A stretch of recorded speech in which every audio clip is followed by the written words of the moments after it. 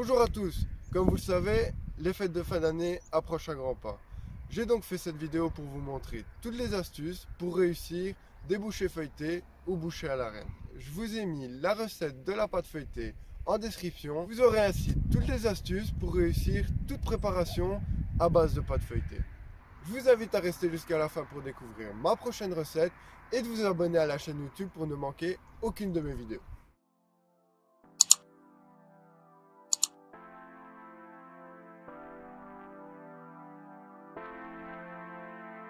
Commencez par étaler 400 g de pâte feuilletée afin d'obtenir environ 3 mm d'épaisseur.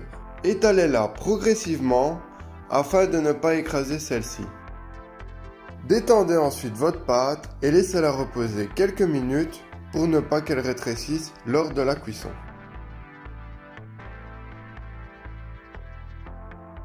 Découpez ensuite des ronds de pâte à l'aide d'un emporte-pièce cannelé de 10 cm de diamètre ou bien à l'aide d'un emporte-pièce et d'une roulette à pâtisserie cannelée. La pâte doit être bien détendue pour éviter qu'elle ne rétrécisse lors de la cuisson.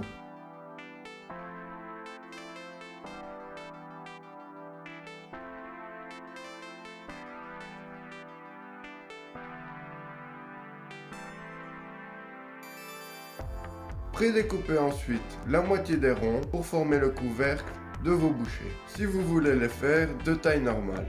En revanche, découpez une troisième couche et n'utilisez que la bordure. Et enlevez ainsi le rond de pâte sur la troisième couche. Disposez ensuite vos ronds de pâte sur une plaque de cuisson sans les étirer pour éviter de les déformer.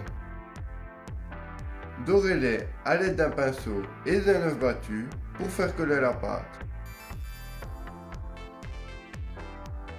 Et disposez la seconde partie en appuyant légèrement dessus pour les faire coller. Le tourage du feuilletage est très important pour obtenir des feuilletés réguliers. Dorez-les ensuite à l'aide d'un pinceau et de l'œuf battu et rajoutez la troisième partie si vous les désirez plus haut. Je vous rappelle que pour la troisième partie, il ne faut utiliser que la bordure et non le rond du milieu. Dorez la bordure à l'aide de l'œuf battu et laissez-les reposer 15 à 20 minutes avant d'enfourner. Cuisez-les ensuite à 200 degrés pendant 15 à 20 minutes.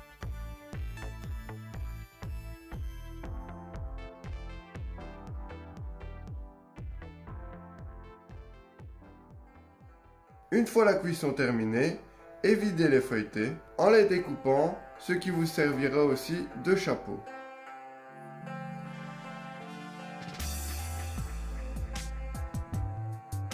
Enlevez ensuite le surplus de pâte pour pouvoir incorporer un maximum de vol au vent.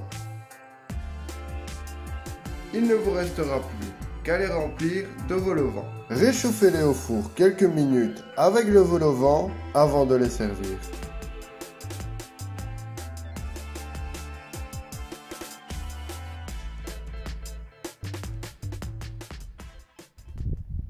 J'espère que cette vidéo vous a plu.